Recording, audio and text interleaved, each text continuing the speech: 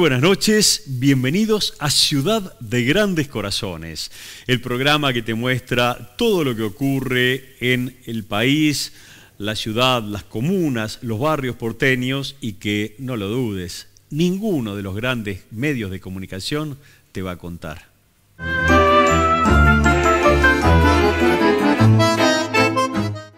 La legislatura porteña reconoció y declaró de interés la destacada labor de la Fundación Rumbos, una organización que lucha desde hace años por los derechos y la accesibilidad de las personas con discapacidad. Sin embargo, la misma legislatura que los reconoció por esta tarea es la que ignoró las propuestas que hicieron relativas a la modificación del código de edificación. Tenemos imágenes. Soy Eduardo Joly, presidente de Fundación Rumbos. Queríamos agradecer a las y los legisladores porteños que tomaron la iniciativa de reconocer el trabajo que Rumbos viene llevando adelante en la ciudad de Buenos Aires y el resto del país para mejorar las condiciones de vida de las personas en situación de discapacidad. También agradecer a las organizaciones barriales, comunales, ambientalistas y aliadas de nuestra lucha y merecedoras por igual de este reconocimiento. Comisión de Políticas de Promoción e Inclusión Social. Reunión de diputados del 9 de junio del 2021. Declara de interés para la promoción de los derechos e integración social de las personas con discapacidad a la Fundación Rumbos por su incansable lucha por informar, concientizar y defender el pleno goce de sus derechos humanos. Solo agradecer el, eh, el, acompañamiento, es una organización que está trabajando desde el año 1999 con muchísimo compromiso en torno a la promoción y la integración social de las personas con discapacidad en términos de formación, de acompañamiento y también de aporte a poder llevar adelante políticas públicas más inclusivas. Así que nos parece eh, justo y, muy meritorio poder eh, hacerles llegar esta declaración de interés por parte de la legislatura. El 8 de julio del 2021 se votó en la legislatura la declaración de interés a la labor de Fundación Rumbos y también las modificaciones al Código de Edificación. ¿Por qué cambiar, por ejemplo, disminuir las condiciones de habitabilidad reduciendo medidas mínimas, requisitos de iluminación, de ventilación, incluso de aspectos que hacen o agravan las condiciones para aquellas personas con discapacidad, como incluso lo han señalado fundaciones en este mismo recinto que se han declarado recientemente de interés, pero que contradictoriamente después no le dieron cabida a su señalamiento sobre que estos cambios en los códigos de edificación perjudican a las personas con discapacidad. Toda una contradicción que ratifican, a nuestro entender, este carácter de avance, de privatización y de negocios inmobiliarios. Respecto a nuestro voto, queremos agregar que venimos acompañando y apoyando el reclamo de la Fundación Rumbo que viene denunciando al gobierno de la ciudad y en particular al código de edificación votado por esta legislatura, incluyendo las modificaciones que quieren introducir.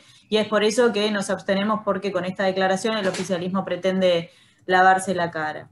Y de esta nueva comisión, desde la Comisión Especial de Personas con Discapacidad, convocamos a una audiencia pública con organizaciones que nuclean a las familias y a las personas y a los especialistas que tratan de temas de discapacidad. Allí es donde participaron Redi, Rumbos, Acceso Ya, la Biblioteca Argentina de Ciegos, la Defensoría del Pueblo de esta ciudad, entre otros. Y fue invitado a esa audiencia pública el arquitecto García Resta, fue invitado el Poder Ejecutivo y todos sus integrantes intervinientes en la materia, pero no quisieron participar ni quisieron asistir. Como resultado de esta audiencia elaboramos un documento, el documento titulado Código de Edificaciones de la Perspectiva de Discapacidad, que fue remitido a todos los legisladores intervinientes en este expediente, e integrantes de la Comisión de Planeamiento, también fue remitido al jefe de gobierno de la ciudad, fue remitido al jefe de gabinete y al secretario de Desarrollo Urbano, nuevamente el arquitecto Álvaro García Resta. Este documento logró, la difusión de este documento logró algunas modificaciones en el expediente que hoy tratamos, pero debemos decir que las cuestiones esenciales, las cuestiones medulares que plantea el documento, este código sigue siendo insatisfactorio. Estamos ante una nueva oportunidad perdida de generar una ciudad inclusiva y accesible y con igualdad de posibilidades para quienes la habitan. Me sumo a la intervención del diputado Juan Manuel Valdés eh, y en él eh, tomo sus palabras para acercar eh, mi acompañamiento a todas las organizaciones que activamente participaron en la discusión de los códigos y en estas modificaciones. Tengamos en cuenta esto, ¿no? Hace dos años se aprobaron los códigos y hoy estamos trabajando en modificaciones del código de edificación y anteriormente en la del código urbanístico. Lo que quiere decir es que otra vez el mercado eh, empuja y el gobierno de la ciudad es muy permeable a ese apriete para seguir generando mejores condiciones. Las modificaciones al Código de Edificación fueron aprobadas con 36 votos afirmativos y 20 negativos. No podemos dejar de señalar la hipocresía de legisladores que han votado a favor de este reconocimiento, mientras en la misma sesión han aprobado modificaciones al Código de Edificación que hemos denunciado como regresivas en cuanto a la accesibilidad. Rumbos Accesibilidad. Nuestra página es www.rumbos.org.ar, nuestro mail fundación.rumbos.gmail.com. Nos pueden encontrar en Facebook, Instagram y YouTube como Rumbos Accesibilidad y en Twitter como Rumbos 5.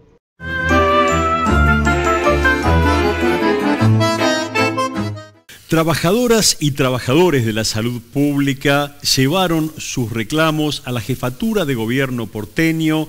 Estuvo presente la Asamblea Permanente por el Derecho a la Salud. ¿Cuándo quiere? Bueno, estamos acá acompañando la movilización de médicos y enfermeras, enfermeros, camilleros, todo el personal trabajador de la salud que han puesto no solamente los mártires, sino el esfuerzo y siguen siendo héroes, muchos de los cuales que están acá no van a sus casas para no contagiar a sus familias. Y la verdad es que este, este, este, este, este grupo de, trabajadores ha sido muy maltratado por el gobierno de Rodríguez Larreta, fundamentalmente no solamente en el aspecto salarial, sino que acaba de dejar sin poder entrar a los hospitales, a los concurrentes, a los cuales no le paga por miedo a que le pidan salario el día de mañana. Eh, la verdad que con enfermeras de 39 mil pesos por mes, con turnos recargados y con horas extras que son miserables, que apenas llega, no sé, el otro día me dijeron, no puedo creer que pague 5 pesos la hora extra, pero si es así, la verdad es que es, es una calamidad. Realmente la queja de todos los hospitales que están acá presentes. Veo el Ramo Mejía, veo el Moyano, veo el, Hospital Sardá, veo, veo todos los hospitales y los chicos y las chicas jóvenes que dieron y dan la vida por todos nosotros. Señor Larreta, dejemos de considerar a la salud como una herramienta de ajuste y de costos. La salud es un derecho humano esencial, es el principal derecho humano y el medicamento es el principal eh, instrumento de, la salud también. Entonces tiene que ser un bien social y no puede estar en manos del mercado. Así que esto lo tiene que resolver el jefe de gobierno de la ciudad, que hasta ahora no solamente se muestra distraído, sino que agravia al conjunto de los trabajadores de la salud.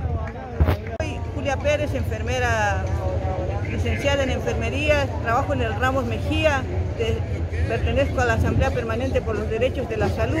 Desde este espacio nosotros estamos también exigiendo al gobierno de la ciudad que, por los salarios dignos de enfermería, que, queremos decirle al señor Larreta que es un trabajo de amor, pero no quiere decir que sea no pago.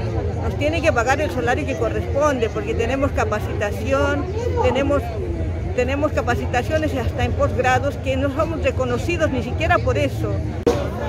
Mi nombre es Nelson Donato, soy médico del sistema de salud de la ciudad.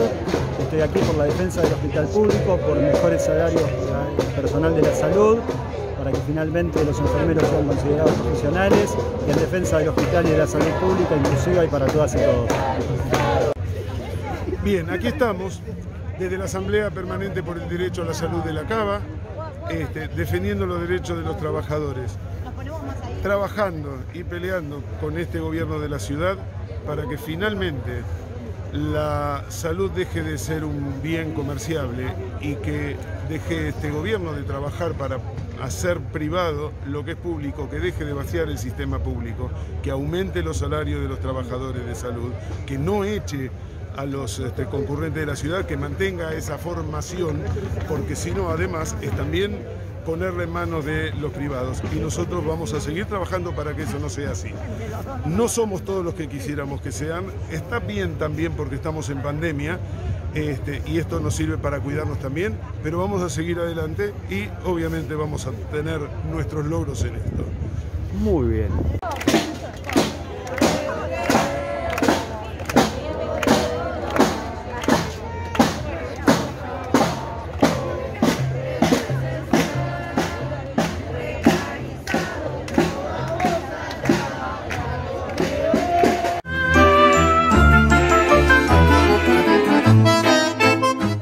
Como suelen hacerlo algunos integrantes opositores afines al anterior gobierno de Cambiemos, vinculados a los autodenominados libertarios, el pasado 9 de julio eh, se manifestaron nuevamente en la zona del obelisco de la ciudad, una movida que fue eh, cubierta por la mayor parte de los grandes medios de comunicación. Lo que no mostraron esos grandes medios de comunicación fue la movilización masiva por nuestra independencia, nuestra soberanía, que se realizó a lo largo de todo el país y que tuvo epicentro en la ciudad de Rosario, el puente que une eh, la capital santafesina con eh, Entre Ríos, con la provincia de Entre Ríos. Luciano Orellano, autor del libro Argentina sangra por las barrancas del río Paraná, nos habla, nos cuenta cómo fue esa movida el 9 de julio, una entrevista imperdible. Oíd mortales el grito sagrado, libertad, libertad, libertad.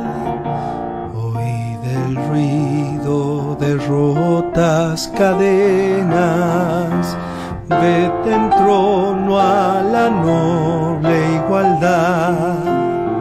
Se levanta la faz de la tierra, una nueva y gloriosa nación. Coronada su cien de laureles y a sus plantas rendido un león, y a sus plantas rendido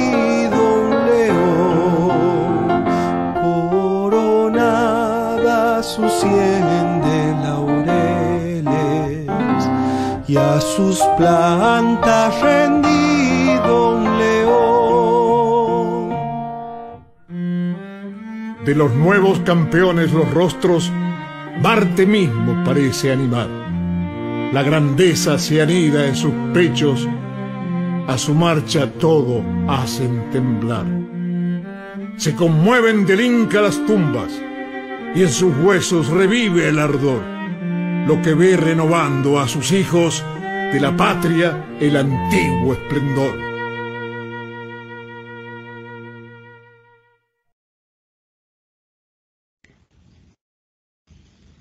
Buenas noches, Luciano. Buenas noches, ¿qué tal, Carlos? Un gusto, gracias, muchas gracias. Lo mismo digo, un gusto y un, y un banderazo, una caravana que fue realmente notable, particularmente en eh, Santa Fe, en el puente eh, Paraná-Victoria. Contanos, Luciano, nosotros mostramos algunas imágenes en el programa, pero ¿Qué fue lo que, lo que vivieron? ¿Cómo fue el desarrollo de esa caravana tan importante? Bueno, fue una alegría enorme, enorme, digamos así. Eh, fue una cosa maravillosa, una fiesta, en el sentido de que, bueno, eh, tuvo la composición, digamos así, donde participaron distintos sectores profesionales, científicos, periodistas, ambientalistas, distintas corrientes políticas, sociales, gremiales, es decir, una composición heterogénea. la parte de la comunidad, y fue bellísimo porque se hizo una caravana desde ese lugar bellísimo al lado de Manuel, nuestro querido Manuel Belgrano, ¿no es cierto?, en el Parque Nacional a la Bandera. Y bueno, nos fuimos concentrando y cada vez, cada vez más gente, más gente, más gente. Eh, y bueno, si venían las bicis y se armó una, una hermosa caravana de motos, todos con banderas argentinas, ¿no es cierto? Y después se sumaron los autos, colectivos, vehículos, algunos vehículos, camionetas tipo las hinchadas de, ¿viste? Cuando vas a la cancha. Había algo de eso, así que había mucha alegría, eh, mucha gente, y a pesar del gran blindaje mediático que tuvimos, porque no salimos ni en una FM para la convocatoria, ¿no es cierto? Después eso cambió ya en la caravana, imposible taparla, y tuvo prensa, ¿no es cierto? Tuvo los principales, eh, digamos así, radio, algo de televisión, eh, tuvo los diarios, es tuvo mucha prensa, pero a posterior ya, no, toda, sí, fue una lucha tremenda por la realización de esto. ¿Te acordás, Carlos, que ellos pusieron desde La Nación, Clarín, todos pusieron las fichas en la concentración, pegando el grito en el cielo contra las medidas que logramos de sacarle la concesión a la Yandenul en San Nicolás, la mesa de enlace, todo, ¿no? La Ulri a caballo, a eso le dieron todo el blindaje mediático, ¿no es cierto? Le abrieron desde la Nación la Clarín, TN, y a nosotros no nos sacó ni siquiera una FM. En esas condiciones hicimos esta fiesta, esta caravana, ¿no es cierto?, de muchísimas gentes, ensayamos lo de las bicis, las motos, los vehículos, las chatas, autos. Eh, además, eh, tuvimos intentos de que nos bloquearnos del puente, ¿no es cierto? Distintas situaciones que tuvimos que ir manejando, cambiamos dos veces el lugar del acto. Yo digo para que la gente entienda que nuestro Santa Fe no es cualquier lugar, es eh, el centro de gravedad de la dependencia argentina uno de los centros fundamentales está acá, y acá está Cargill. Están en todo el país, a ver. Pero el peso principal está acá. Esto que decimos, estos enclaves coloniales. Están sacados, Carlos. Pero están sacados, no sé si tanto porque le sacamos la concesión, que es un dato significativo, y que estamos ni siquiera en el medio del río, la lucha continúa, pero están, están, están sacados eh, por esta conciencia, este nuevo amanecer, ¿no es cierto? Este nuevo amanecer de los argentinos, encima se pegó eso, después tuvimos el éxito de nuestra querida selección argentina, acabo 100.000 personas en el monumento eh, cantando El que nos salta es un inglés. Hay reservas infinitas en el pueblo argentino. Hay que confiar, hay que creer. Y entonces el desarrollo de la caravana fue desde el Parque Nacional La Bandera, nosotros los medios le dimos un contenido, Carlos, la enorme significación para los argentinos, para nuestra querida América del 9 de julio. La enorme significación, primero hay que marcar que hubo varias declaraciones de independencia, le dimos este marco, este contenido, estuvo la Declaración de Independencia del Paraguay, tuvimos la del arroyo de la China en 1815, estuvo, ¿no es cierto? Y después tuvimos en una situación dificilísima porque se había restituido toda la monarquía en Europa, el movimiento de emancipación de América Latina había sido casi aplastada, el único foco que quedaba, ¿no es cierto?, eh, era en el sur, ¿no? Un ejército hecho pedazo medio en el norte, y un San Martín que tratando de armar al ejército que no lo había armado, no tenía más de mil hombres.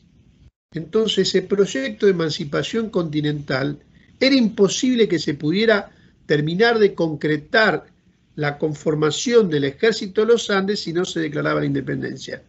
Por eso el más interesado era el general San Martín, Belgrano, y es decir, la significación que tuvo esa declaración en el proceso, primero el Paraguay, después el arroyo de la China y después termina en toda esa complejidad ese proceso, digamos, termina en el 16 y eso reafirma que, Carlos, hay que ser claro, lo que reafirma es que terminamos de conformar el ejército que hizo la epopeya más grande, entre la más grande de eh, bélica para la liberación. Y armamos el ejército de los Andes, nuestro querido general San Martín, cruzamos la cordillera de los Andes, liberamos a Chile, liberamos al Perú.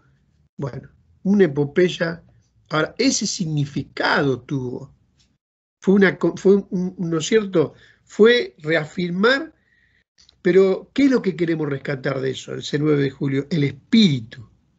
El que los que dicen que no se puede, que hay presiones. ¿Qué espíritu tuvieron esos patriotas? ¿No es cierto? En una, armaron un ejército de 5.000 hombres con 10.200 mulas, 1.500 caballos, cruzar, ¿no? Bueno, y eso lo hicimos los argentinos, porque lo que ellos quieren, las clases dominantes, lo que quieren es enterrar nuestra identidad. Y las teorías derrotistas del que no se puede. Y nosotros en este 9 de julio, en esta caravana, planteamos de que somos casi una semicolonia y que queremos una segunda y definitiva independencia. Y que tenemos que tener una visión continental y que hoy estamos discutiendo la hidrovía, la draga, la industria, ¿no? el medio ambiente, estamos con eso a full, estamos el tercer año de sequía, ¿no es cierto?, nuestro querido y amado río Paraná, pero es un problema continental, ¿se entiende? La cuenca, esa unidad hídrica, es el agua dulce, bueno, todo lo que está en cuestión. Así que fue una fiesta maravillosa que fuimos hasta el, eh, eh, eh, son varios kilómetros, y fuimos hasta el puente y desplegamos una bandera argentina que no lo pudimos apreciar, una bandera gigante que hicimos de 20 metros por 30 metros de largos, que la tiramos en la, parte más alta del puente. Pero el viento fue, era tan fuerte ese día que no se pudo apreciar, ¿no es cierto? Por eso no tuvo tanta difusión. Pero ahora vamos por más, Carlos, porque vamos a duplicar la bandera, la vamos a hacer de 60 metros, ¿no? Y vamos a esperar el día que no haya viento para tirarla y para que los argentinos tengan una imagen única que recorra el mundo, que es una bandera gigante, ¿no es cierto?, sobre nuestro querido, ¿no es cierto?, eh, río Paraná y el puente Rosario Victoria. Así que hicimos intento de la caravana Formosa, fue hasta el peaje, volvió y terminó en este acto con este contenido que yo te desarrollaba, ¿no es cierto? Reafirmando el paso que dimos. No, dimos un paso, no es menor. Lo tenía la, la no lo tiene más. Ahora, bueno, no queremos licitación internacional, no queremos que entren por, por la, que salgan por la puerta y entren por la ventana. Ni yanqui, ni belgas, ni chinos. Argentinos. Eso es lo que hemos planteado argentino. Entonces, bueno, la lucha continúa. Ese paso y el paso más significativo, digamos así, es la conciencia que van haciendo en, toda en el litoral marítimo. Hay cosas, eh, em, y todo nuestro litoral, porque esto fue una medida de carácter, eh, esta movilización fue nacional, hubo emisiones, el encuentro entre los correntinos, ¿no es cierto?, con los chaqueños, fue una cosa maravillosa con la bandera argentina, uniendo las provincias, abrazando el río, una cosa unitaria, ¿no es cierto? Eh, fue una cosa que, era impensable, porque hay que decirlo, Carlos, era impensable, ¿no es cierto? Eh, pero además reafirmando que esto continúe, que recién comienza, ¿no? Y lo mismo pasó en la ciudad de Santa Fe. Fue bellísima la caravana de Santa Fe, fue espectacular de la ciudad de Santa Fe, sobre la ribera la Laguna Setúbal y después terminó en el puente colgante. Y después tuvimos lo de aquí de Rosario, ¿no es cierto? Que recién te comentaba. Pero después sé que hubo cosas en Zárate, estuvieron ustedes que en Capital, ¿no es cierto? Bueno, hermoso, La Plata, Mar del Plata. Es decir, pasan cosas lindas, tan lindas, tanta esperanza, tanto nos llena el corazón, de que te encontrás con gente a veces incluso de otras provincias que hablan de la hidrovía. Luciano, eh, yo te, te, agradezco nuevamente esta nueva comunicación. Sabés que nosotros domingo a domingo en cada programa estamos hablando de nuestro río Paraná y de nuestra soberanía Así que te vamos a seguir convocando seguramente y estamos atentos a toda, todas las novedades que van surgiendo en torno a este, a este tema fundamental para todos los argentinos. Muchísimas, muchísimas gracias. Marchamos al 17, digamos, eh, vamos a abrir un proceso de balance de lo que hemos hecho, pero seguimos en la revolución cultural. Yo te agradezco infinitamente este compromiso con los argentinos, con esta patria, digamos que lo necesita, necesitamos hombre con los espíritus de Belgrano, bueno, es, esta cuestión, esta labor, esta revolución cultural amplia, unitaria, plural, ¿no es cierto?, que recién comienza. Muchos van a querer apagarla porque se van a creer que llegamos, no llegamos a ningún lado, dime un paso. No, esto continúa y, pensar qué cosas tenemos que hacer eh, el 17 de agosto. Esta es un poco la idea, eh, cómo seguimos. ¿Será otra caravana? Bueno, pero ese día donde vamos a conmemorar el padre de la patria, el hombre que emancipó, emancipó América, digamos, y donde, donde América tiene, somos una semicolonia, necesita una segunda emancipación, ese hombre tiene una significación más importante que nunca. Y por eso vamos a reivindicarlo. Así que vamos a estar. Muchísimas gracias, Luciano. Gracias, gracias, Carlos. Gracias a vos y felicitaciones. Gracias, gracias.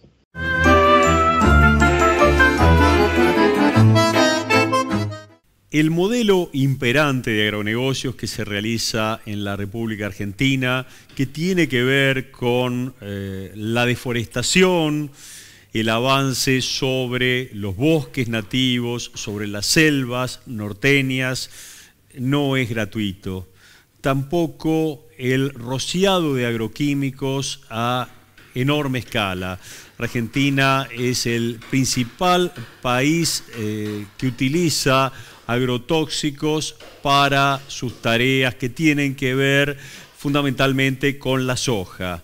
El glifosato, un elemento que está directamente relacionado con la soja transgénica y también con otros cultivos eh, se escurre por los ríos, llega al agua de lluvia, pero uno de los problemas que tenemos es que llegó a los arroyos, los ríos, la desembocadura del Paraná.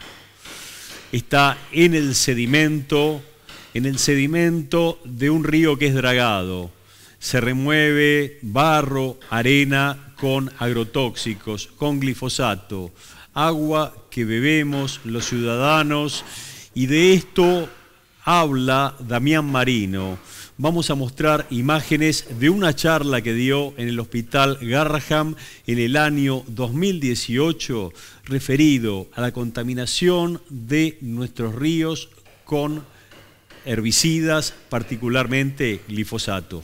El otro fue el tema de qué pasa con nuestro río Paraná río más grande que tenemos en el país, a cuántas cientos de familias le provee agua de consumo humano. El río Paraná que tiene alrededor cuántas playas donde la gente se recrea, donde pasa sus veranos. Y digo Paraná y digo Uruguay. A ver, lo que le pasa al río Paraná no va a ser muy distinto a lo que le pasa al río Uruguay.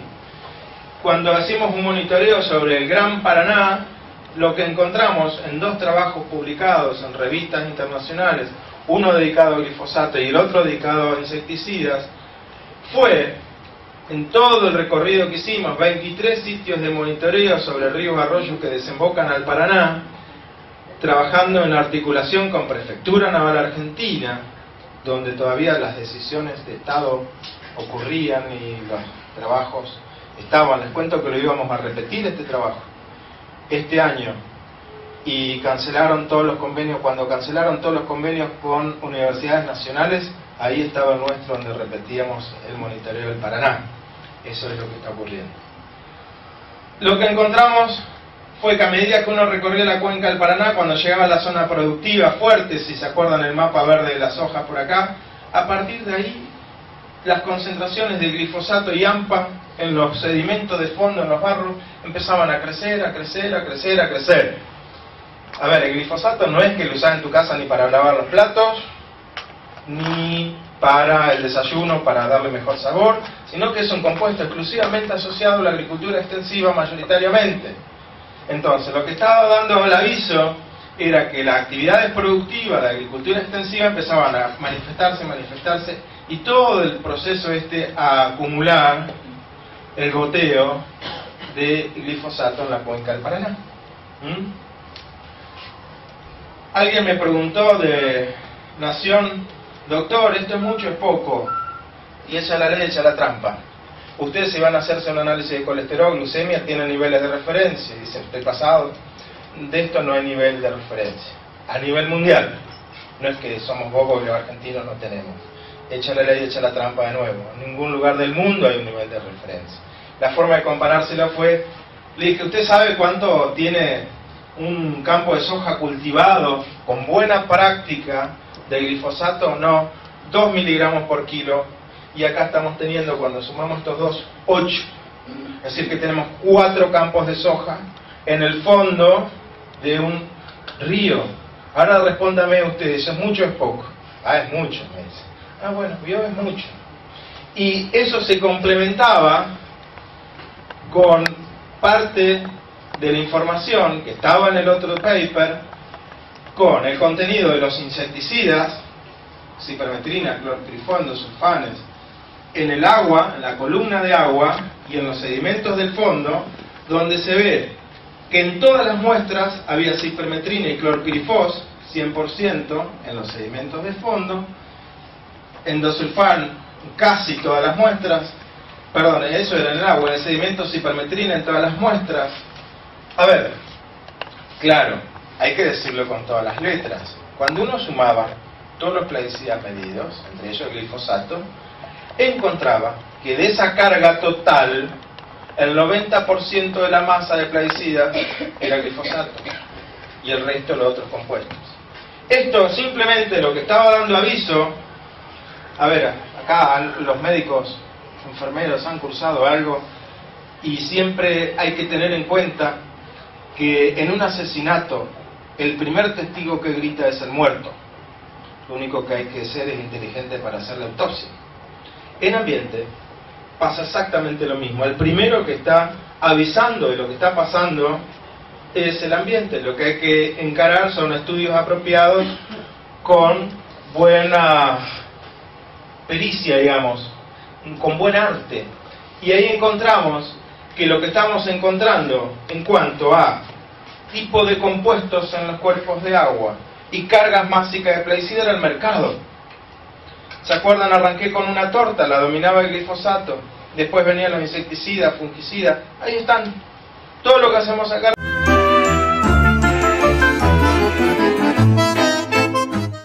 Lentamente los contagios de COVID van decreciendo en la República Argentina y si bien tenemos que lamentar un saldo de más de 100.000 muertos, la buena noticia es que hay hospitales donde ya no hay pacientes internados por COVID-19. El caso del Hospital de Mar de Ajó, donde trabajadoras y trabajadores de la salud festejaron de este modo.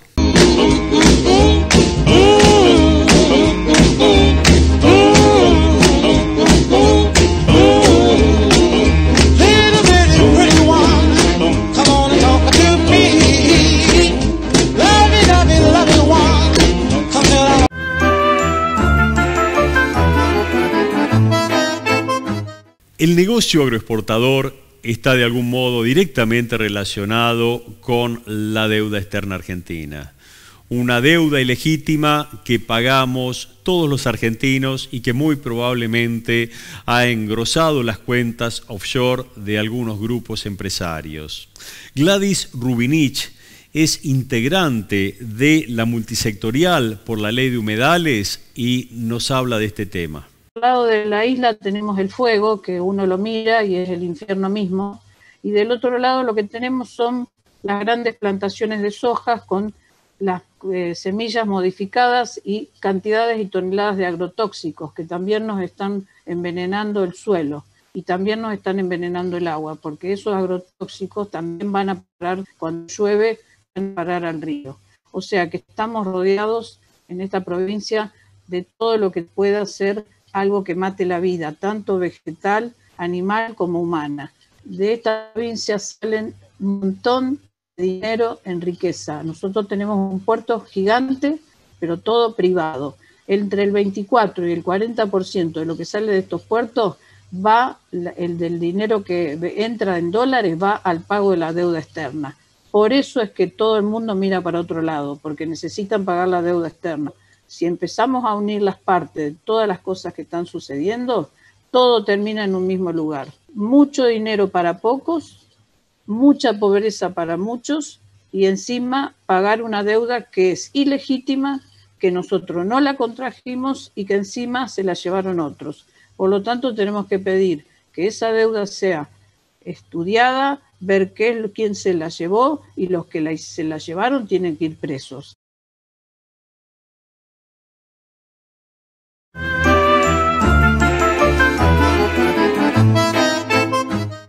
Decididamente, el lugar para tratar los grandes temas nacionales es el Congreso, nuestro Congreso de la Nación. Eh, cuestiones que tienen que ver con la deuda externa, con el control de nuestros ríos, con nuestra soberanía, tendrían que ser tratados en ese ámbito y no en un escritorio. Estas son cuestiones que requieren un debate público. Eh, Juan Carlos Giordano es diputado nacional por el Frente de Izquierda Unidad, integrante de izquierda, izquierda Socialista y presentó un proyecto de ley referido al control del río Paraná.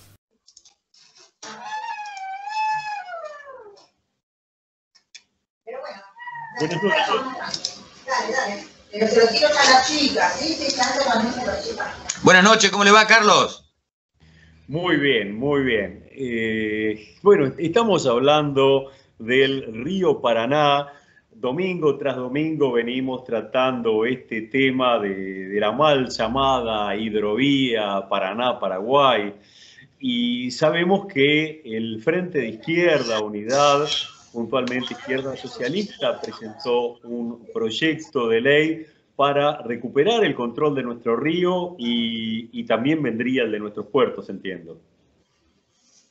Sí, Carlos. Eh, bueno, como bien vos decís, de Izquierda Socialista, que componemos, somos los partidos fundadores del Frente de Izquierda Unidad, eh, tenemos mucha pasión y mucha claridad cuando se debaten estos temas, ¿no es cierto? Es decir, hay muchas generaciones que, eh, jóvenes, que se incorporan a la lucha obrera, popular, de las mujeres, de la juventud, y que han visto a una Argentina como la que está funcionando de determinada manera, con todas las, las empresas centrales estratégicas en manos privadas.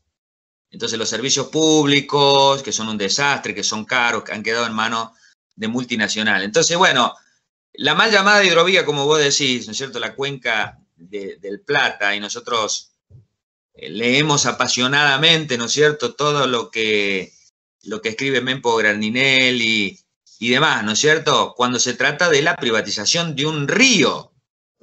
O sea, es parte de lo que se ha entregado bajo un gobierno peronista-menemista en la década del 90 eh, a los grandes capitales, a multinacionales, a tal, tal cuestión de que, la llamada hidrovía, digamos, está concesionada a una empresa belga, ¿no es cierto? Y bueno, y con el aditamento de eh, un empresario eh, de Argentina, como es Gabriel Romero de MEPA, que tiene también, se quedó con la privatización de ferrovías, uno de los, de los empresarios eh, acusados precisamente para seguir con la concesión de la mal llamada hidrovía eh, con coimas, ¿no es cierto?, en la causa de los cuadernos. Eh, y nosotros siempre hemos considerado, más allá de la justicia y todo lo demás, que la causa de los cuadernos, la corrupción en el gobierno peronista, ya no menemista en su momento, sino del peronismo-kirchnerismo, también se dio, ¿no es cierto? Entonces, bueno,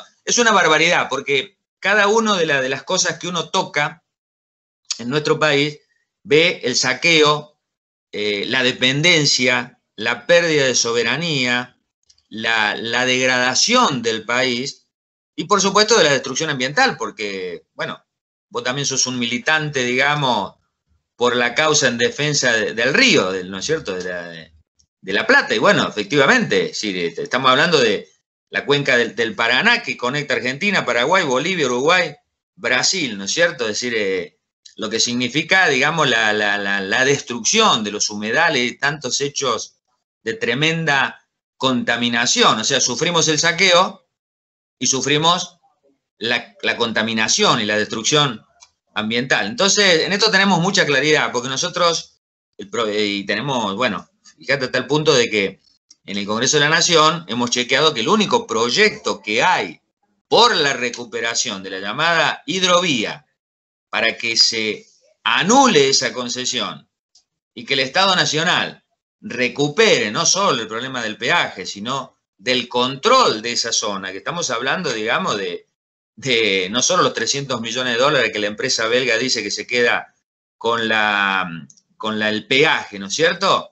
Sino que estamos hablando de un corredor donde salen el 80-85% de las exportaciones, ingresan el 95% de las importaciones, eh, donde trafican por el lugar 6.000 barcos al año, ¿no es cierto? Y es donde las grandes multinacionales, como en el caso de Cargill, Dreyfus, Cofco, Aceitera General de esa y todo lo demás, utilizan, ¿no es cierto?, tanto la hidrovía como el tema de los puertos, porque el tema de los puertos, digamos, también han sido privatizados. O sea que de ahí se va todo el producido del pueblo trabajador, del pueblo argentino, con sus trabajadores, con sus mujeres, con sus profesionales, con sus técnicos, ¿no es cierto? Entonces hemos visto el caso Vicentín, que no solo, digamos, le pidió un préstamo al Estado Nacional, no se lo devolvió, sino que era también la punta para seguir investigando el tema sobre la evasión tributaria, el, contrabando, digamos, de nuestros cereales y demás, ¿no es cierto? Y aparte, bueno, otros le agregan con razón que toda esa zona es también tierra fértil para la trata de personas, el narcotráfico y el contrabando de armas. Entonces, en resumidas cuentas, nosotros desde la izquierda, izquierda socialista, estamos 100% a favor de terminar con las privatizaciones, porque han sido sinónimo de saqueo, de entrega, eh, de tremenda corrupción, se decía en su momento, en la década del 90, que Argentina tenía que desprenderse de todas las empresas estratégicas, que eran, digamos, las escuelas, los ferrocarriles, los teléfonos, la hidrovía, los puertos, y podríamos seguirle agregando tantos hechos que hacen al patrimonio nacional que nunca pueden quedar en manos privadas, porque estamos hablando de la estrategia, estamos hablando de recursos no renovables, estamos hablando de la luz, de la, electricidad, del agua, del petróleo y del gas, ¿no es cierto?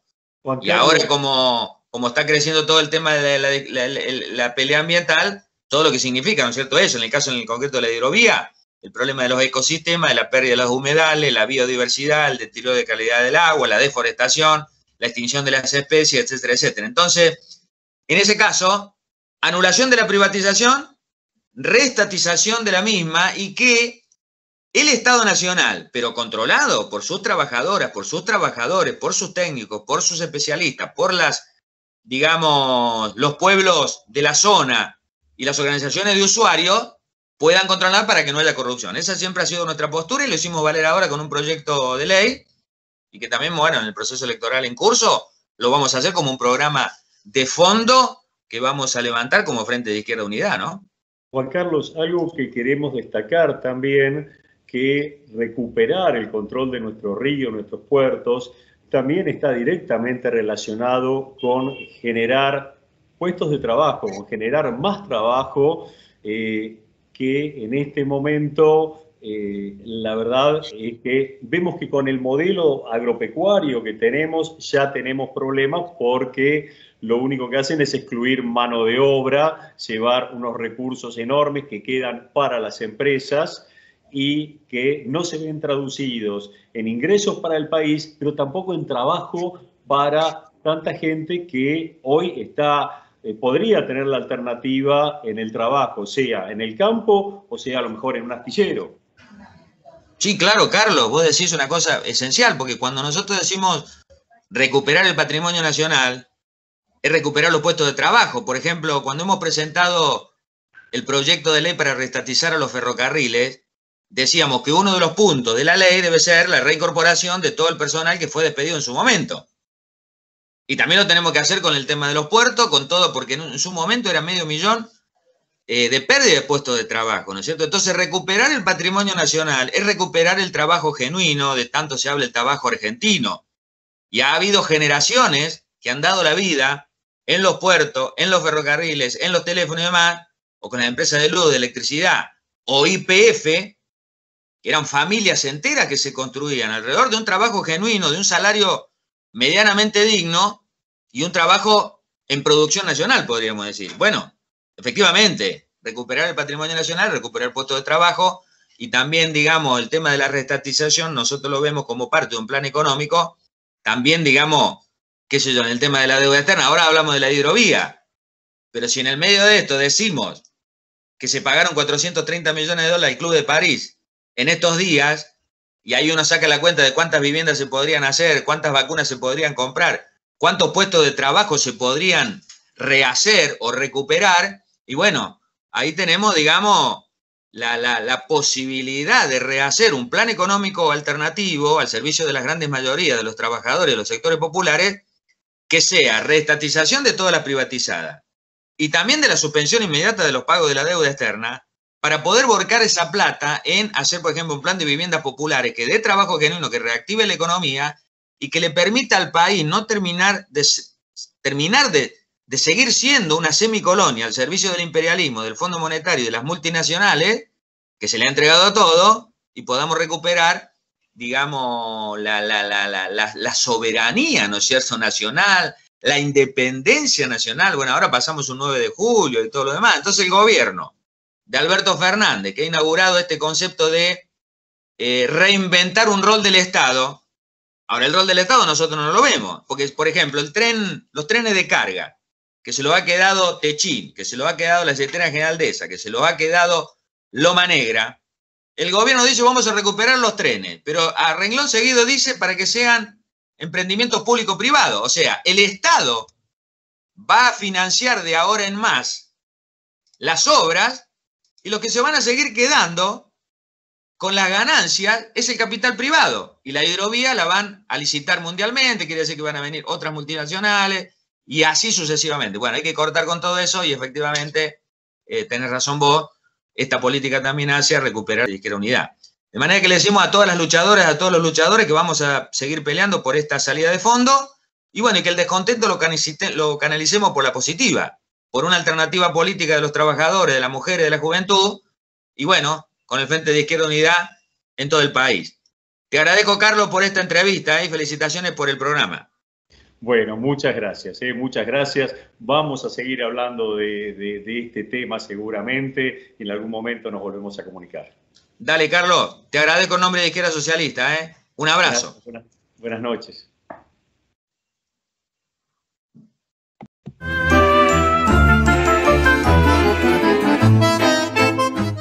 La Asamblea Permanente por los Derechos Humanos acaba de publicar un libro, Tocar fondo, referido a los cuatro años de la administración macrista en la República Argentina.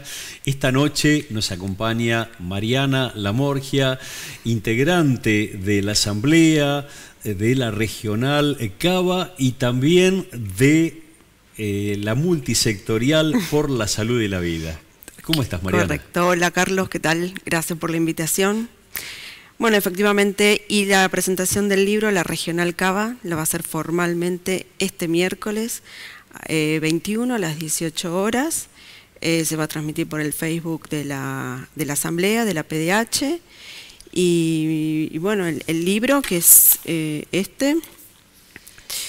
Tocar, fondo. Cuatro años de Cambiemos una mirada desde los derechos humanos. sí. Bueno, es un, libro que lo, redactaron, lo escribieron diversos compañeros de la Asamblea de las distintas regionales, de las distintas secretarías que, tiene la Asamblea. Y bueno, queremos dejar plasmado eh, lo que fue la pérdida de la vulneración de derechos durante estos cuatro años del gobierno de Cambiemos.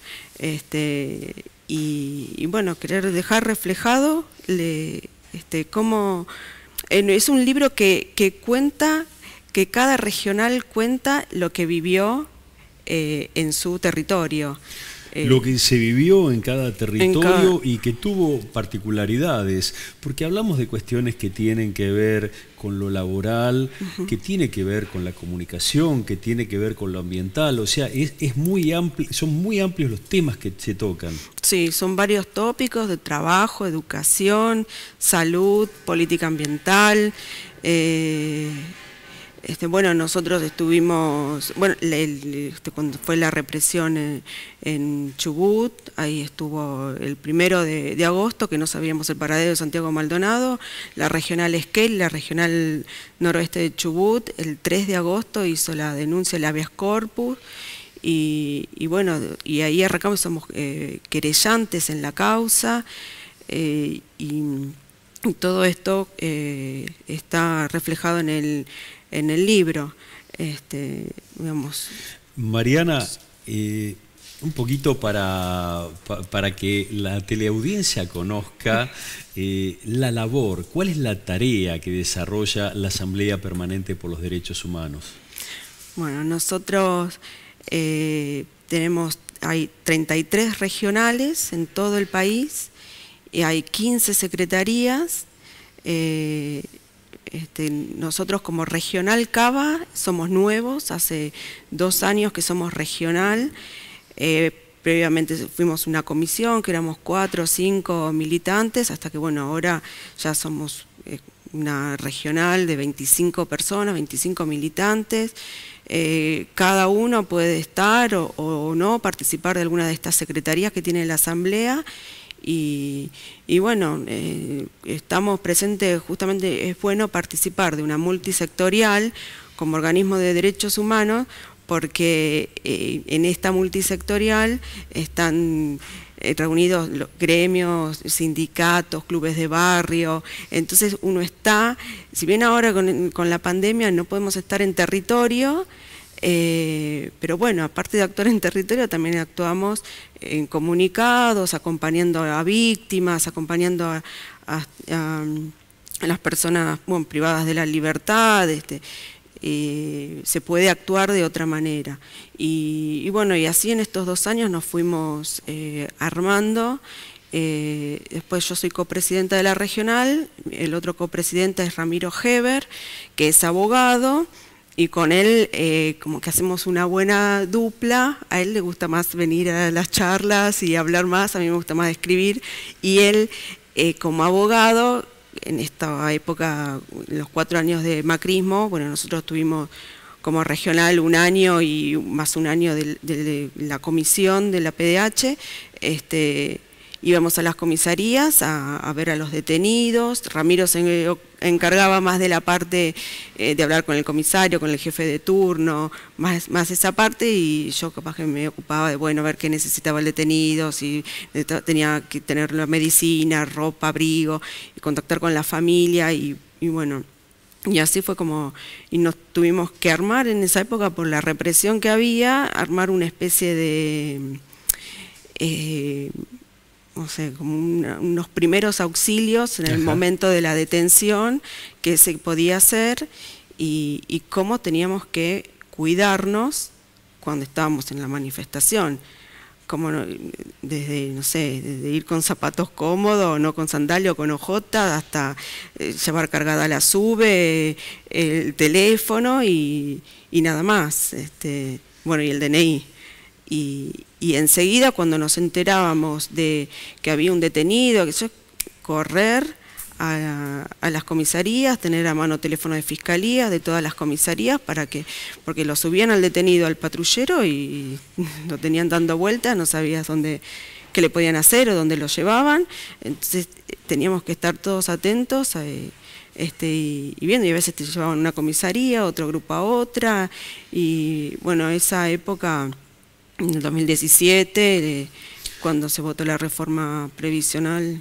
La reforma previsional nosotros eh, vamos a mostrar algunas imágenes de lo que ocurrió en ese momento, eh, qué pasa con los vendedores ambulantes, qué pasa porque eh, es verdad que fue espantosa la represión que han vivido manifestantes, personas en situación de calle, vendedores, eh, pero hay un montón de cuestiones que también tienen que ver con los derechos humanos que están planteados en este libro, donde se habla también, por ejemplo, de los tarifazos.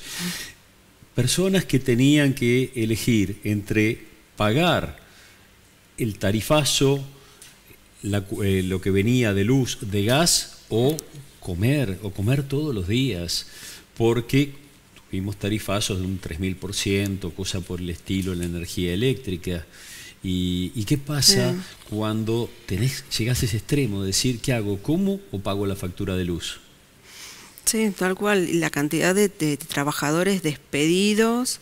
Este, bueno, en, todos nosotros asistimos a, todas estas personas que están siendo vulneradas en sus derechos.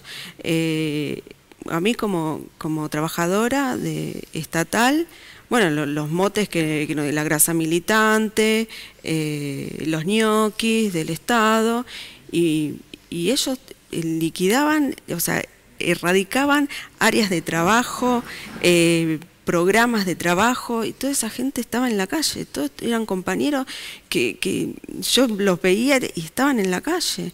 Recién ahora se está pudiendo reincorporar y, a veces no se puede reincorporar porque ellos eh, sacaron, eliminaron ministerios, eso ya no se puede reincorporar, pero eh, reincorporar ahora se está pudiendo, más o menos, reincorporar gente. Yo militaba en ATE Capital, milito en ATE Capital, también soy afiliada, en ese momento era delegada y me acuerdo que en el diciembre de 2016 o enero del 2017 tuvimos los primeros despidos en el Centro Cultural Kirchner y ahí estuvimos en la calle.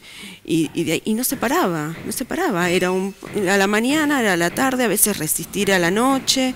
Eh, y bueno, por suerte, estar agremiado, estar sindicalizado eh, y ATE Capital, la verde y blanca, este, bueno, que uno de los de los que va a hablar. La Verde y Blanca es una de las agrupaciones dentro del dentro del sindicato de ATE, Capital, sí, y, y bueno, nosotros ahí peleamos este, por los trabajadores y era espantoso. Bueno, el tema de los, los migrantes, como vos decís, o los manteros, como se dice. Este, nosotros tenemos imágenes, Mariana, vamos, vamos a Veamos, mostrarlas. Sí.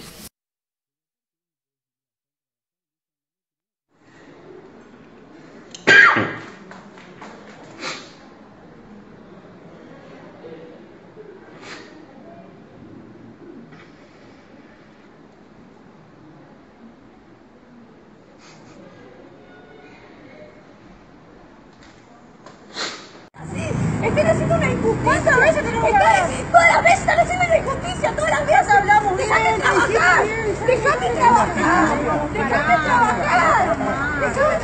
A ver, déjame trabajar, por favor, déjame trabajar. Por No puede ir a denunciar que fueron la fiscalía, nosotros, tiene que llevar. Ella es agresiva, ella pega, ella cumple. ¿Dónde?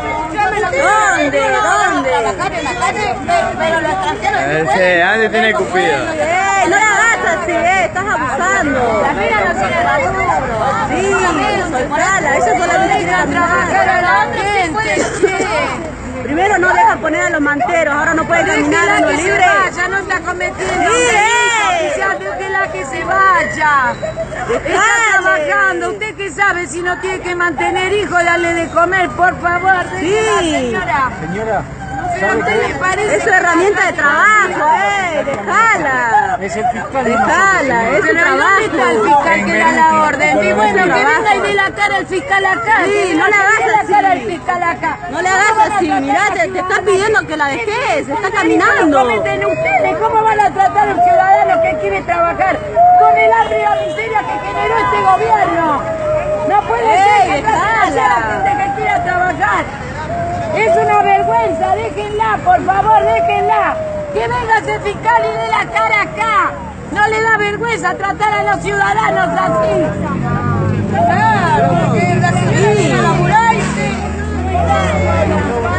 Cuestiones como las que vemos acá, que estamos hablando de un hombre que fue reprimido, un anciano, por la policía, atacado por la policía, un hombre que estaba parado en la calle, pero también la situación que viven migrantes, trabajadores ambulantes y también otras personas, el caso de esta señora, de esta madre de familia que estaba con, con- vendiendo globos para ganarse Para la vida y fue sí. atacada por la policía de la ciudad. Sí, no, es que la, la política represiva del gobierno de Cambiemos, eh, o sea, arrancó siendo Macri jefe de gobierno, continuó en el Estado Nacional, pero arrancó siendo jefe de gobierno, acordate lo que fue la represión desquiciada en el Borda, eh, Macri jefe de gobierno y Vidal vicejefa, eh, eso fue un- a pacientes y a trabajadores en un hospital psiquiátrico. La represión en el Borda que tuvo que ver con un negocio inmobiliario que querían hacer en ese lugar, talleres que estaban protegidos, había una medida judicial que impedía tocarlos y entraron más de 400 tipos armados hasta los dientes y empezaron a los Sí. balazos contra médicos, enfermeros, Enferme- pacientes, no sí, se contra nadie. los trabajadores y contra los pacientes. No, no, no. Eh, y bueno, y la política represiva, o sea, la política, lo que gastan, lo que gastan en, eh, en la policía. Ahora que la policía de la ciudad, pero la mezcla de la policía federal, la policía metropolitana, es la policía de la ciudad que sigue siendo una política represiva. Eh, bueno, lo del Borda y lo que estamos viendo este, en, en los videos, esto, eh, tener que salir corriendo para asistir a estas personas, salir corriendo para ver dónde están, eh, bueno, eh, esto de criminalizar la protesta, ya arrancamos, bueno, en, en el 2016 eh, en Jujuy con Milagro Sala, que criminalizaron la protesta. O sea, el, derecho en democracia, el derecho que uno tiene de salir a la calle a manifestarse para pelear sus derechos, para, para poder. Y te, reprimen. Era imposible, era imposible este, eh, no, no poder. eh, como te daba más bronca, te daba más bronca salir, tener que salir y ver esto. Además, un sujeto como Macri, hablar de curros, la verdad que, bueno, podemos hablar de causas de contrabando agravado con armas en este momento, Ahora la injerencia en cuestiones internas de un país hermano, apoyando un golpe de Estado. Podemos hablar del contrabando agravado de autos, podemos hablar cuando fue procesado como presidente de Boca por administración fraudulenta o por las escuchas ilegales del año 2010 el espionaje de ahora, parques eólicos, correo, es interminable. Sí, sí, sí. Pero para no, no, no quedarnos pegados con, con Mauricio Macri, contanos eh, ¿cómo, cómo podemos contactar a la Asamblea por los Derechos Humanos, Eh, eh, cómo, cómo Ay, se llega. sí, ay, sí, sí, dale. Eh, bueno, tenemos la página este, que es eh, apdh-del medio argentina.org.ar. Eh, bueno, ahora no estamos yendo presencialmente, pero eh, todo el que quiera militar y que sienta esas ganas por hacer algo por el otro y participar y, que la manera de contribuir es eh, eh, militando, viendo dónde está el problema, dónde está la dificultad y tratar de ayudar. Es bienvenido en la asamblea y este, bueno, si quieren ingresar ahí en, la página de la asamblea, es 19, es en Callao 569, tercer cuerpo, primer piso y, y bueno, cuando estemos presencialmente. Por ahora eh, es así. Y este miércoles que hacemos la presentación, también va a ser por su, la presentación del libro. Este miércoles, recordame, por favor, el horario. Es a las 6 de la tarde Sí. por el Facebook de la APDH Ajá. y bueno, los que van a, van a exponer va a ser eh, Daniel Catalano por Ate Capital de la Verde y Blanca, que es un gran referente y, y bueno, quién más que él que lo vivió todo lo que fueron estos cuatro años. eh, Rafael Klexler, que uno también a Rafael lo asocia con la parte de la economía popular. Eh, yo hace dos años atrás o tres, no me acuerdo, año nuevo, él había, bueno, él y, todo su grupo de, desde el movimiento popular La Dignidad, eh, pasé año nuevo en la Plaza Congreso, que toda la agrupación de él eh, en dos patadas armaron un comedor ahí, quién pone la olla, quién pone, dónde ponemos la bebida, y bueno, Rafael Klexler, eh, Juan Francisco Seguí, que fue vicerrector hasta el año pasado del Colegio Nacional de Buenos Aires, ahora secretario de Relaciones Institucionales, Oscar Leguizamón, nuestro compañero de la multisectorial CABA, eh, y Adriana Meyer, que es periodista, docente y delegada de Página 12. Y quien nos habla, Mariana Lamorcia. Yo y Ana González, también de APDH Cava. Mariana, nos vemos entonces el próximo miércoles 21 a las 18 horas en el Facebook de la Asamblea por los Derechos Humanos. Muchísimas gracias por tu visita. Hay un placer, Carlos. Gracias.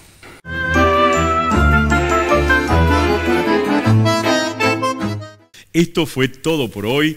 Nos vemos el próximo viernes, como siempre, en Canal 22 Web, el domingo a las 20 horas.